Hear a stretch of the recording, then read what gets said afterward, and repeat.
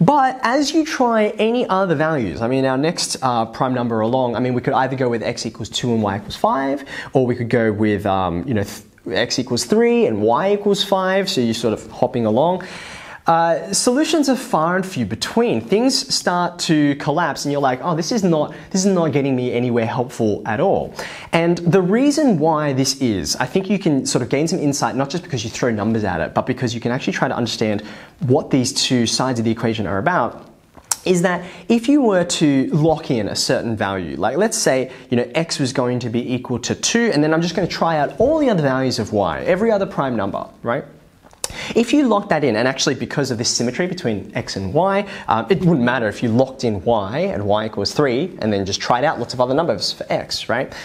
As you test out different numbers just by keeping one thing steady and then changing the rest, you will see why the left and the right hand side, at least I think, um, can never be equal to each other after this first solution. They're, the left and the right hand sides, not only do they not equal the same thing, they actually get further and further apart forever as you try different prime numbers. So, here's the way I'm going to illustrate it. As I said before, let's consider what happens if x is stuck at 2 right? This is a classic mathematical problem solving strategy, by the way. When you've got um, something complicated and there's lots of things changing, just hold one still and then vary a different part of the situation. I suppose it sort of relates to the scientific method, if that's something you've learned about, like you are trying to control um, a situation as much as you can and just, just vary one thing and see like, oh, is this the thing? What, what, what's the effect if I change this, this one thing and everything else is the same? And I can observe the effect of changing that one variable is what we call it. Uh, and that's exactly exactly what I've got here.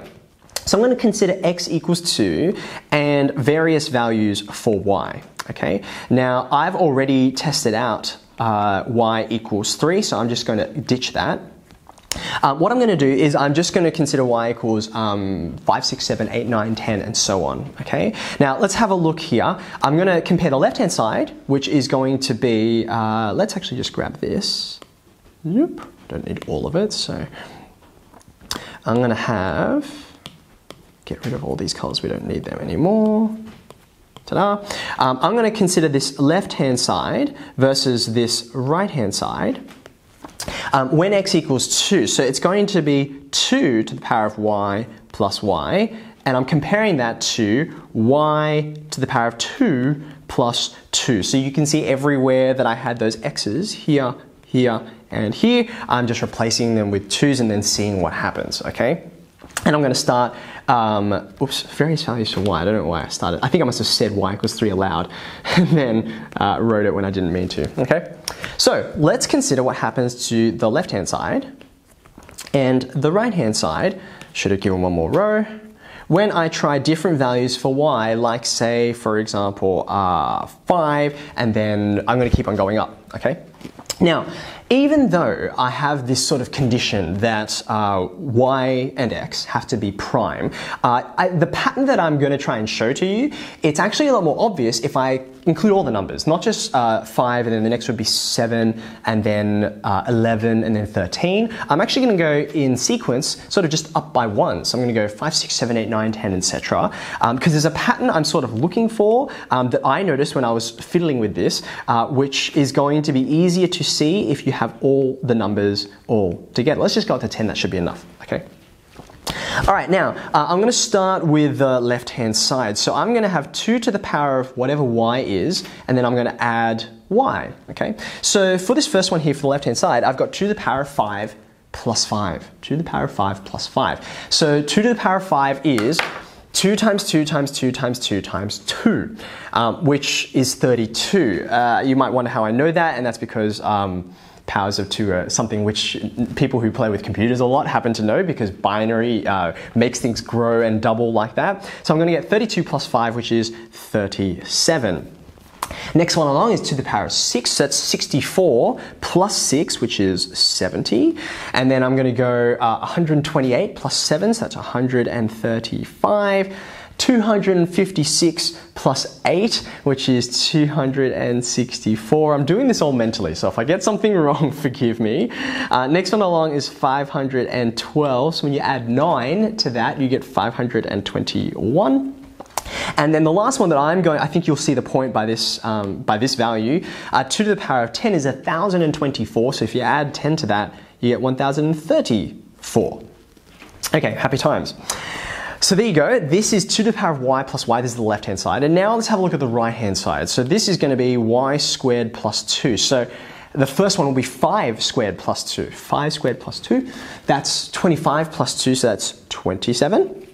The next one is uh, 6 squared plus 2. This is a bit easier, so I'm only doing one thing to y. So 6 squared is 36. So you add 2 to that, you get 38. The next one will be 49 plus 2 is 51. 64 plus 2 is 66.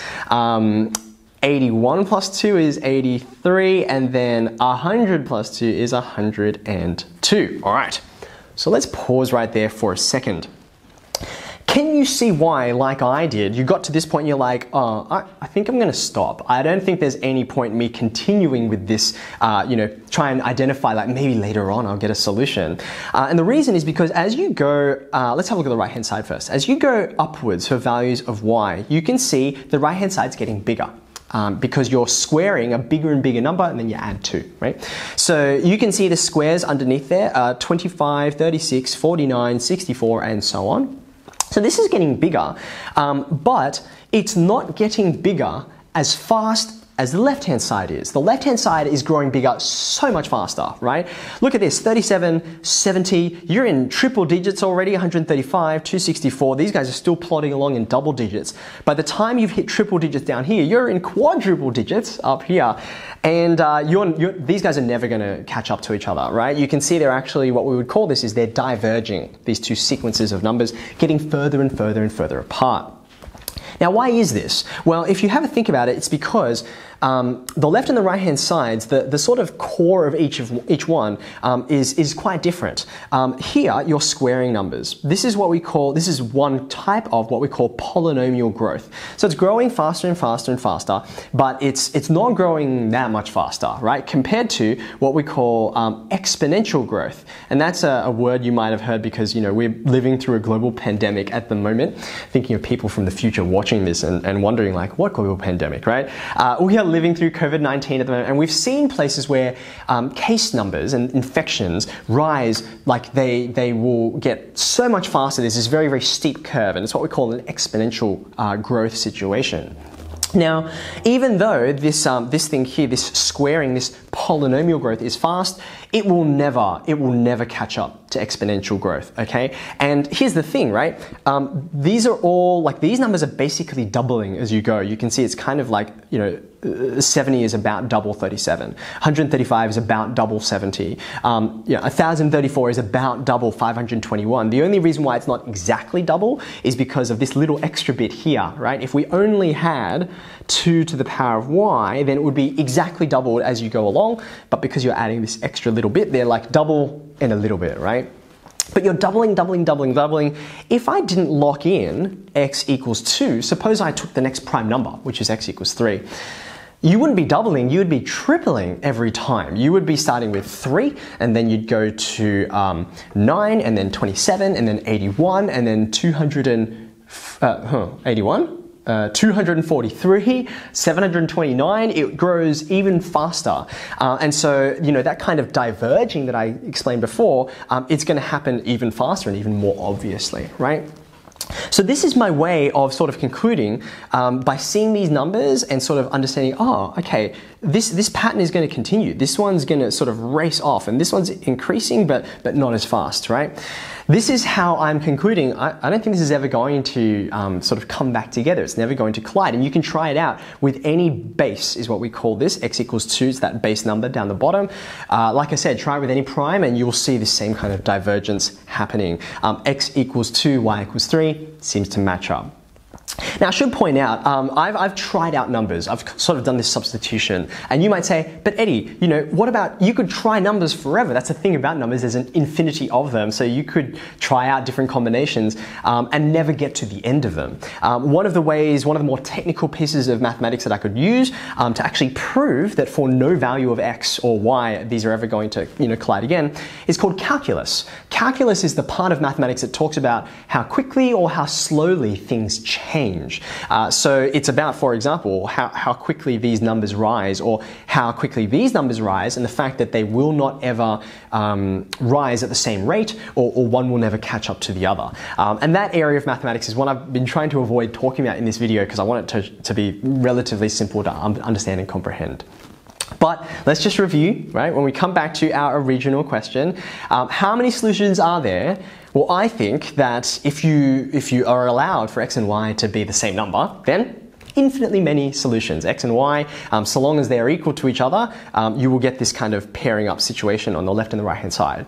But if you say x and y have to be unequal, they have to be distinct from each other, I believe that x equals 2 and y equals 3 is the only solution you'll find, and no matter how far you go for larger and larger values of x and y, um, the left hand side and the right hand side, we want them to match up, but they will never match up, they will get further and further apart forever and ever.